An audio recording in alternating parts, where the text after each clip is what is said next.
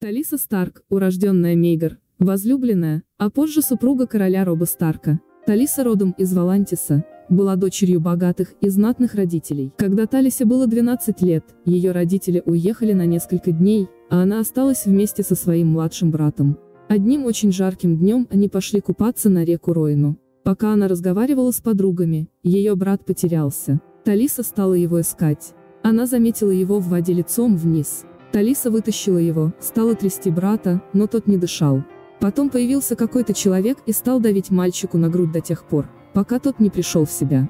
Этот человек был рабом, что было сразу видно по татуировке на его лице. Спасая мальчика, он рисковал своей жизнью, ведь рабам в Валантисе запрещено прикасаться к благородным людям. После этого Талиса приняла решение покинуть родной дом, так как хотела посвятить жизнь не танцам и развлечениям, а чему-нибудь полезному.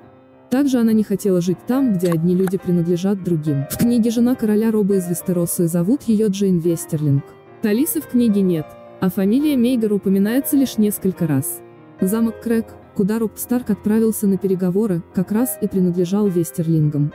По пути туда Роб получил легкое ранение, а также узнал о предательстве Тиона Гриджоя, что расстроило его гораздо больше. Молодой король нашел утешение в объятиях юной Джейн Вестерлинг. Они провели вместе ночь.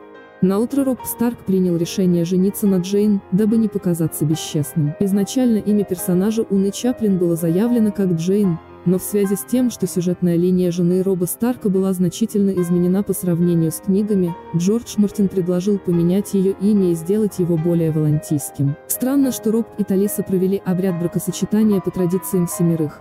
Ведь сам Роб продом с севера, где поклоняются старым богам. Что касается Талисы, то ее религиозные предпочтения неизвестны, а народом Сессоса, где сосредоточено множество религий. Но судя по разговору Талисы и Кейтлин в серии «Темные крылья», «Темные слова», девушка абсолютно не знакома с традициями и обычаями веры в семерых. Книжная жена Роба не присутствовала на свадьбе Эдмура Тали и Рослин Фрей. Она так и не забеременела, хотя, по ее словам, они с Робом очень старались, а Джейн даже пила настой, способствующий зачатию.